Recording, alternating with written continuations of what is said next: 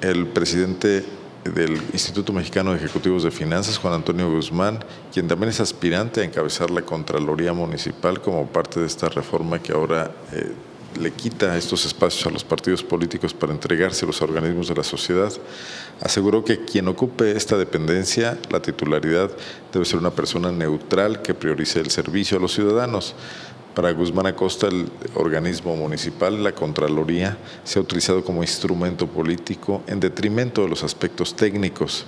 El presidente del IMEF, quien también lo ha sido del Colegio de Contadores, mencionó que hay muchas personas en la sociedad civil que podrían cumplir con este perfil.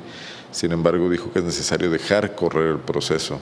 A él lo propone como candidato a la Contraloría la CONCAMI, Confederación, Confederación de Cámaras Industriales. Este es eh, Guzmán Acosta, presidente del IMEF.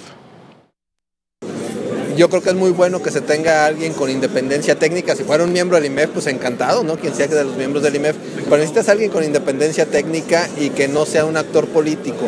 Lo que necesitamos hacer es ciudadanizar las contralorías municipales, no más estas, sino todas, y que sean órganos técnicos, que no sean órganos políticos. Hasta el día de hoy hemos vivido en el mundo de los órganos políticos, donde lo tiene la primera minoría, y la primera minoría pues actúa más en, en el terreno de lo político.